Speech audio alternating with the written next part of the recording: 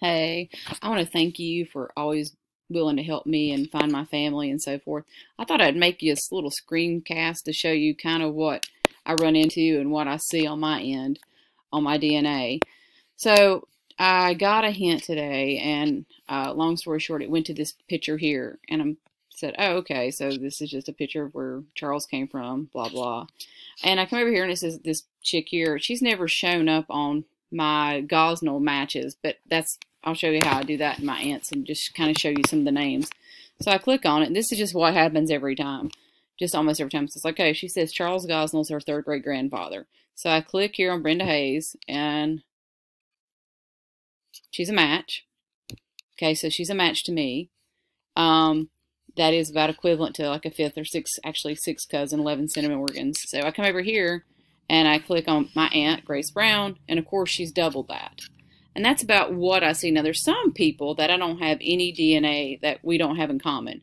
For example, uh, Beth Mills, who's active on the Dark Corner site, she is a match to me, but not my aunt. And that just means that my mother got a different set of Gosnell DNA than my Aunt Gracie did. So this is my mom's full sister. So if I go to my DNA and I go to DNA matches,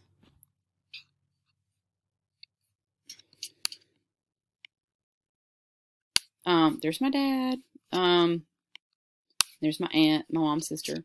So I come here and I usually do this right here, Gosnell. Uh, search matches in tree, and I do Glassy Mountain, or, you know, they don't have Dark Corner. I think they should, but they don't. Uh, I'll put South Carolina or anything like that. So I hit search, and um, it goes and goes and goes and goes and goes and goes. You, as you can see, I've checked out. They don't have the blue little dot under beside their name, which means I've looked at them. So this is what I've done. I've looked at every single one of these people, and I'm pulling it down so maybe you would notice. Maybe you know some of these people. But as we have talked about, they've had so many kids and kids of kids of kids. Um, and I've looked about most of mine. I'm going to show you my aunts. I know that you know Doug and that group. He's got a brother that's, and I'm really, what's odd about Doug um, he's got like a brother and a dad and a Howard that he's related to. Um, his mom, who his mom is May Howard, that family shows up. There's Mike Powell. He's on the Dark Corner site.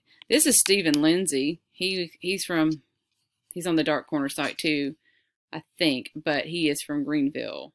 But he currently lives in Florida. I've talked to him.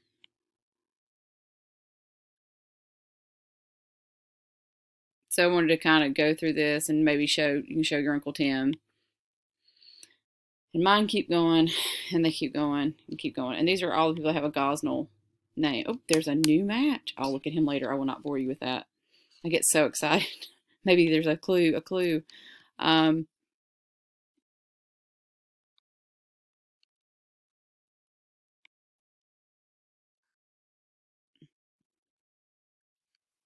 And some of the people that I've contacted, I've said, where did you get this information? They said they didn't really know.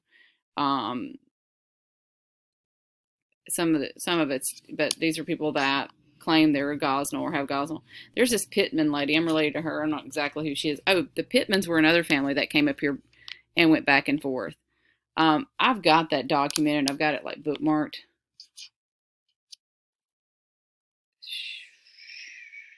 Show bookmarks. I have them over here, but I'm going to get all that together and show you the different families that came up here and, and who the original ancestor was from Greenville. oh, Lord, teachers. Hmm, hmm. So anyway, this is, and I've gone through every one of my matches, and there's a there's a lot more, but I thought I would let you see all the names of them and then kind of give you my aunt's overview. We're getting toward the end of mine. Now, see this Melissa Gosnell. She is a North Carolina, South Carolina, Tennessee descendant too. She's actually, I think, in Tennessee now. And David Gosnell. So, as you can see, I have a tons and tons of Gosnell ancestry and descendants. And if you click on these people, um, now this group right here, like you see the second cousins, these are the Gosnell descendants that I know. I know them. I know Daniel and I know Yvette. That's my cousin Yvette. She's got Gosnell in her. She got arrested the other week for beating up her boyfriend, and she's like 60. Still feisty. Still feisty.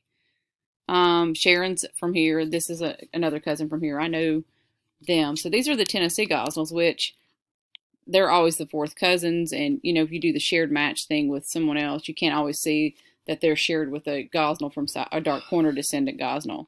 So I'm going to go up here and I'm going to go to my aunt and I'm not even going to go through, but I'm just going to show you the mass.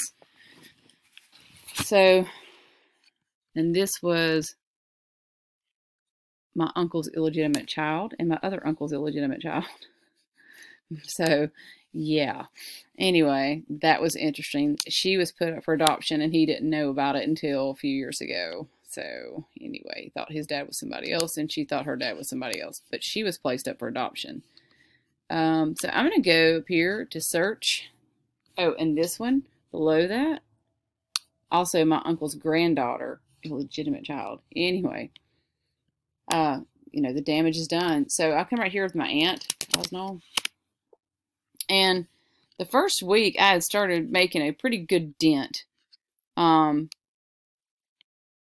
with her. But then all these other names started populating in and she had a lot more start coming through. Um, I've asked this person to share their information with me. They haven't. But hers, you know, we have some of the same people. Like this person right here, she's not a match to me. Um, but of course, we have the possibility of sharing 100% or complete, not 100%, but 50% of the DNA because her and my mom are whole sisters. So it just means that my mom didn't get the same DNA as she did. But it goes on and on and on and on, on and on. But she had a lot of fifth through eighth cousins populate um, within the last, there's that Pittman person um, in the last week or so.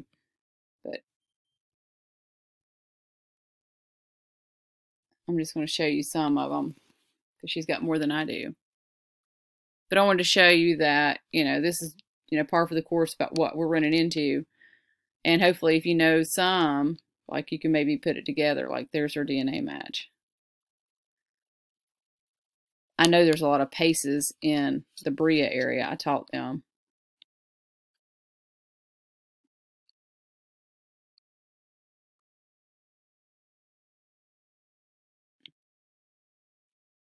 There's another new one.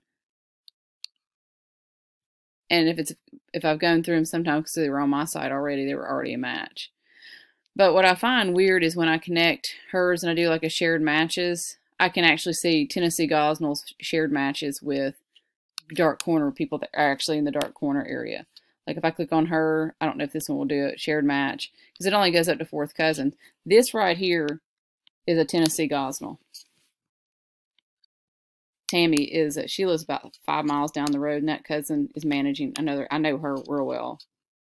Um, but sometimes you can see that down here, because this only goes four through six, it doesn't do distant cousins on your shared.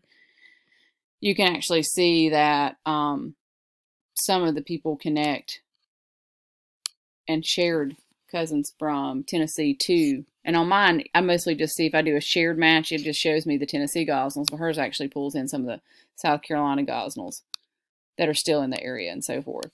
But that's just something I wanted to show you there, if that makes sense. Um, but, yep, and it keeps on going and keeps on going. But when I went to ThruLines the other week, I noticed she had matches. And the thing with ThruLines is, um, I'm sure you know, that if they didn't quite some people didn't finish filling out their tree. If they had a partial tree, Ancestry will make the, the rest of the conclusion by saying, okay, if this is your grandparent and this is your grandmother, then their dad is Charles Gosnell, which means that this person is also your relative. So sometimes with the DNA ThruLines, I'll see that I'll go to their tree and it's not, it's incomplete, but it's because other people have done their tree for them or not for them, but have done their tree and have the same relatives and they have made guesstimates on that. I'll show you one other weird thing that happened. This is mine. I think this is mine. I have to get to my aunt's. Yeah, this one's mine. With my aunt, because people have misinformation, be included. I've been there. Um, if you scroll down here, which Sarah Elizabeth Charles, she has 6992. Oh, there's two new ones. Um,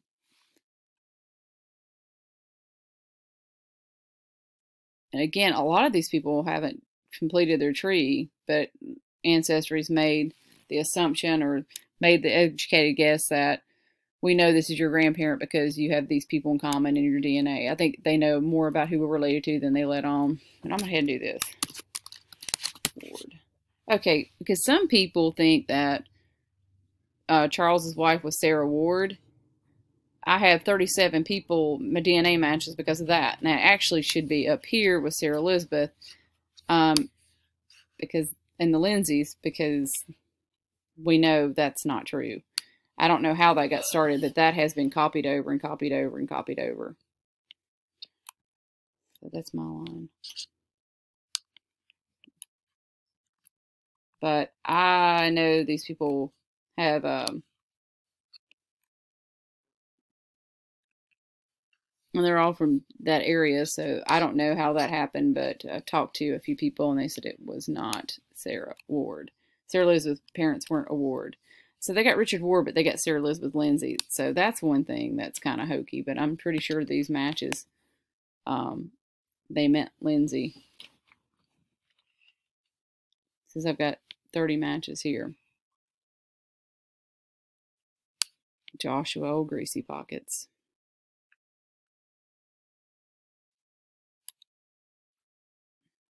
So, um, but with mine, I'll just show you the list. I'll go here and do, go ThruLines, go find Gosnell. Hope this isn't taking too long, and I appreciate you looking at it. I owe you dinner or something sometime.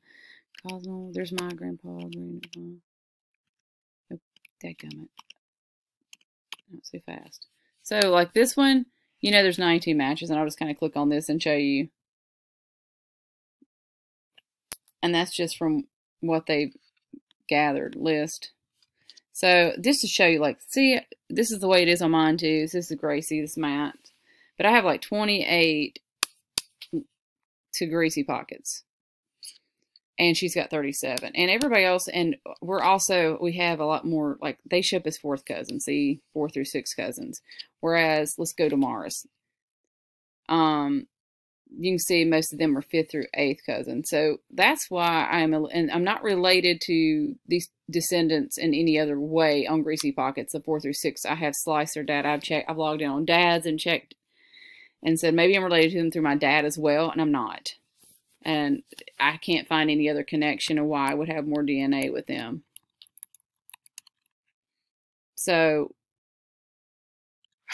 you know, more so it depends on how many generations are between us. And you know, maybe there's not as many generations between Greasy Pocket's youngest children, the Gunners, and some of them as there are some of the older guys like Morris and so forth.